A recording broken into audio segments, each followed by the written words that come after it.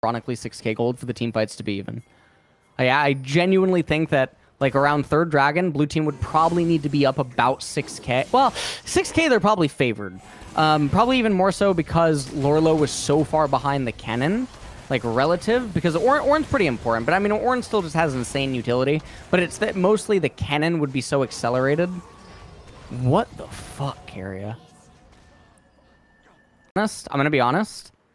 Okay, hit play. I think this is an unintentional MadLife. Let, let me let me explain why.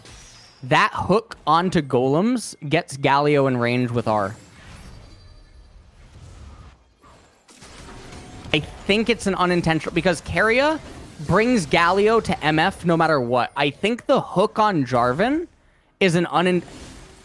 It's a MadLife, but it's an unintentional MadLife. He's just trying to basically escort Galio to MF. Oh no? Okay. All right. Fucking Alice's guys. Actually, dude, he literally is a fucking psychic. He's living, dude, he's living in the multiverse. He knew exactly where Yukino would go. Holy shit, Keria is absolutely cracked out of his mind. You're right. You're absolutely right. Holy shit, you guys are right. Actually, true. That's true, yeah.